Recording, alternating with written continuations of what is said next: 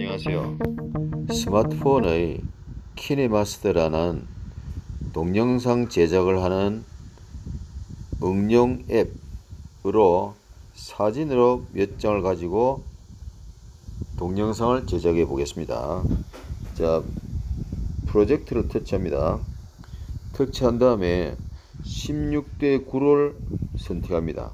16대 9는 스마트폰을 가로로 사진을 찍은 경우입니다. 자, 유튜브에 최적화된 것이 16대 9입니다. 자, 16대 9 터치했습니다. 터치하면 이렇게 납니다. 그러면 오른쪽 상단 위쪽에 그 미디어 있죠. 미디어를 터치해서 터치하면 여러 가지 그 자기 스마트폰에 있는 사진이나 동영상 폴더가 나옵니다.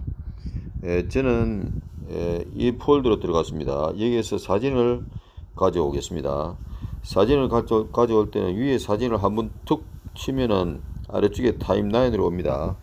자, 그래서 연속으로 치면서 사진을 가져오겠습니다.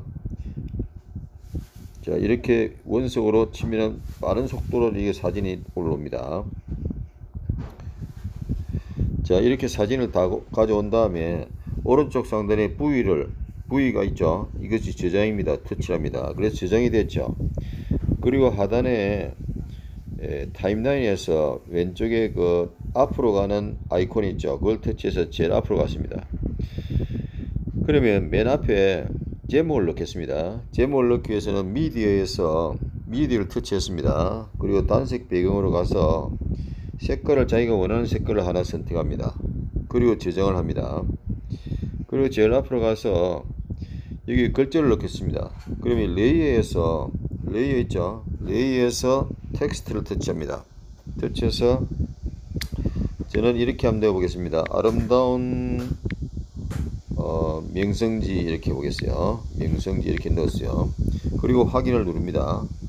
그러면 글자가 이렇게 왔어요. 그러면 화면에서 화살표 이것을 터치해서 드래그해서 글자를 좀 크게 합니다. 이렇게 글자 크게 하고 다음에 오른쪽에 그 AA 있죠. AA를 터치해서 서체를 자기가 정합니다. 그 저는 여기서 서체를 빙그레 two bold로 선택했습니다. 그리고 저장을 하겠습니다. 이 글자가 지금 커졌죠. 자, 이 글자를 흰색인데 검은색으로 바꾸겠습니다. 그러면 오른쪽에 그 동그라미 하얀 거 있죠. 이걸 터치해서 검은색을 터치해서 저장을 누르면 검은색이 됩니다. 여기에서 그림자를 그림자 여기 터치해서 그림자를 없애버렸습니다. 그리고 저장을 합니다. 그 다음에 여기에 이 앞에 아름다운 명성지 앞에 사진을 하나 넣겠습니다. 그러기 위해서는 레이어로 가서 미디어에서 사진을 하나 가져와야 되겠죠. 그래서 사진을 가져오려면은 예, 즐겨찾기로 가서 가보겠어요. 즐겨찾기에서 자, 이 예쁜 아가씨를 하나 가져오겠습니다. 자, 이 사진을 가져왔습니다. 자, 이렇게 하고서 여기에 예, 프레임을 한번 넣어 보겠습니다. 제가 준비한 미리 준비한 프레임이 있습니다. 레이어를 터치해서 어, 미디어로 가면은 미디어로 가서 이 액자 이, 저 여기서 이 프레임을 에, 찾아보겠습니다. 제가 지금 제가 지금 현재 거기 많아서 에, 폴드가 많아서 조금 찾는데 시간이 걸립니다. 자 여기서 액자 폴드로 제가 왔습니다. 여기서 에, 이걸 하나 선택했습니다. 자 지금 요겁니다. 요, 이러한 예, 액자입니다. 이런 액자를 이렇게 가져왔습니다. 자 이렇게 하고서 자 여기 요 사이에 제일 위에 타임라인의 첫째 트랙의 첫째 줄 트랙의 그 사이에 있는 에, 사진과 사진 사이에 있는 아이콘을 터치해서 전환 효과 장면 전환을 가져오겠습니다. 저는 이 folding을 터치해서 open side를 터치해서 저장을 했습니다. 자, 그럼 플레이 시켜 보면은 이렇게 가서 이렇게 바뀌는 것입니다. 그러니까 이 앞에 이 첫 번째 트랙의 길이가 좀 줄어들었죠. 그래서 이걸 예, 길이를 좀 늘렸습니다.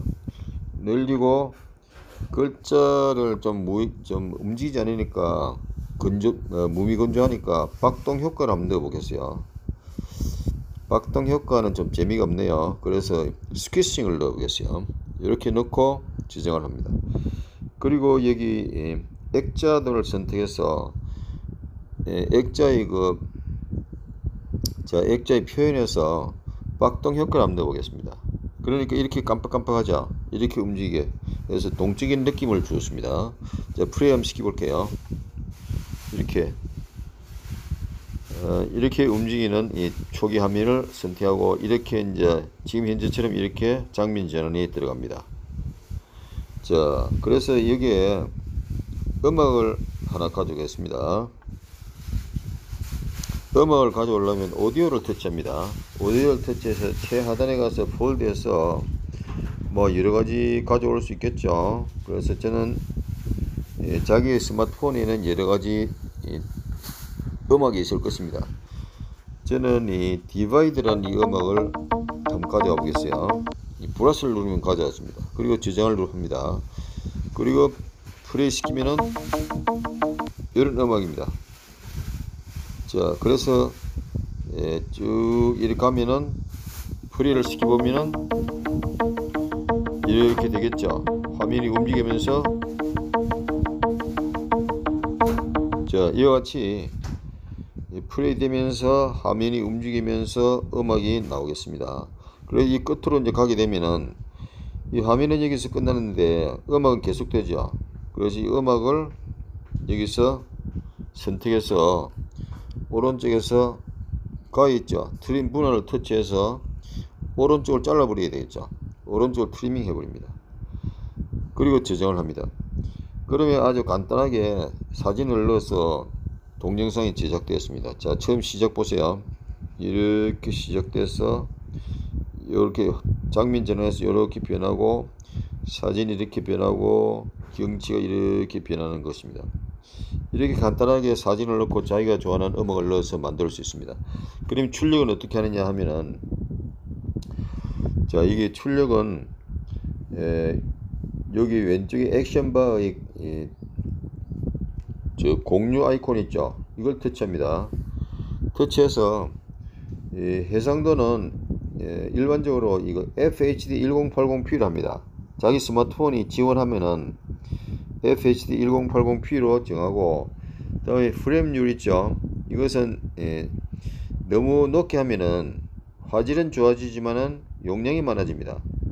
그래서 30을 하겠습니다. 네, 그렇게 하고 내보내기를 합니다. 자, 내보내기를 제가 터치하겠습니다. 이렇게 터치하면은 동영상이 만들어지기 시작합니다. 그래서 더 동영상이 다 만들어진 뒤에는 에, 키네마스터에서 자 저는 여기서 취소하겠습니다. 뒤로 갑니다. 그래서 이, 이렇게 출력해서 출력해서 키네마스터에서 바로 유튜브에 올릴 수도 있고 혹은 이게 출력이 끝나면은 갤러리에 가면은 그 제일 위에 이 동영상이 나옵니다.